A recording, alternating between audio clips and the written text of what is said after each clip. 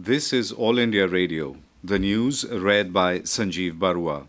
In Bangladesh, at least 124 workers have been killed in a fire which engulfed a garments factory overnight at suburban Ashulia in Savar, 30 kilometers away from Dhaka. Confirming the toll, a local fire service official on the spot told All India Radio Dhaka correspondent that the process of recovering more bodies and handing them over to the relatives is on. He added that some more people are reported to have died as they jumped off the eight story building after the fire broke out. According to local eyewitnesses, the fire broke out last night and quickly engulfed the ground and first floors of the six story building, causing the worst fire tragedy in recent years. Bangladesh President Zillur Rahman and Prime Minister Sheikh Hasina and leader of the opposition Khaleda Zia have expressed profound shock at the loss of lives. The Prime Minister has also announced a financial assistance of 1 lakh taka each for the next of the victims.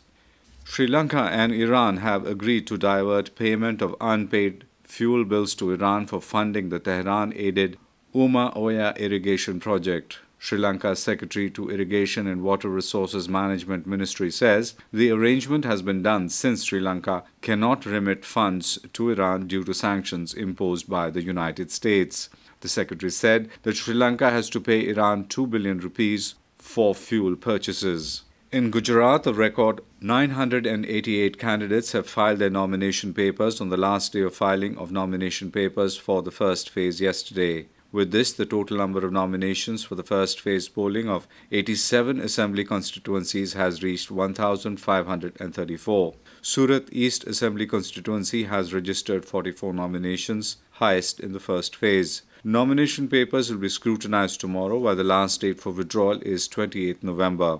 Polling for 87 assembly seats in 14 districts of Saurashtra and South Gujarat and 4 seats in Ahmedabad district will be held on 13 December. Nomination papers for second phase of polling can be filed till 38 November. Voting for this phase will be held on 17 December. Meanwhile, electioneering has gathered momentum in Saurashtra and South Gujarat, with ruling BJP planning 55 public meetings today.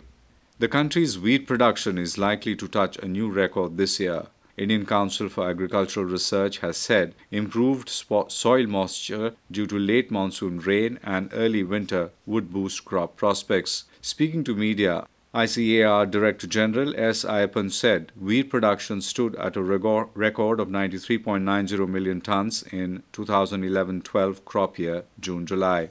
Mr. Ayyappan expressed the hope to harvest a record output of wheat if the temperature does not rise abruptly in February-March. A correspondent reports at present sowing is underway in wheat growing states. The chairman of the National Minorities Commission, Wajahat Habibullah, has urged for strengthening civil administrative network in rural areas at the panchayat level. Speaking at the Rajendra Prasad Memorial Lecture in New Delhi, he stressed the need for increasing efficiency of delivery of public services in villages. He also urged for providing adequate manpower in rural areas so that benefits of democracy reach the people at the grassroots level. Yom Ashura is being observed today to mark the martyrdom of Imam Hussein, grandson of Prophet Muhammad. Tazia processions will be taken out at various parts of the country to mark the day. In Delhi, Tazia processions for different places in the capital will culminate at Karbala. And that is the end of this news bulletin.